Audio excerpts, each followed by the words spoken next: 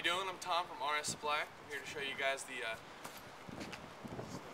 the knockdown water barrel. This is uh, our small size. We have a small, medium, and large.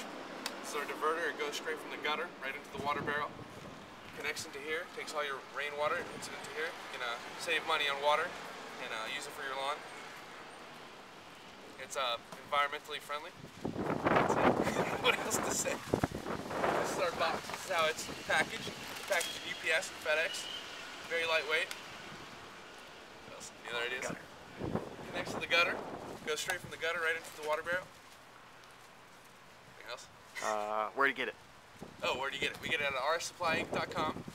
You can order right online, and we'll ship it straight to your home.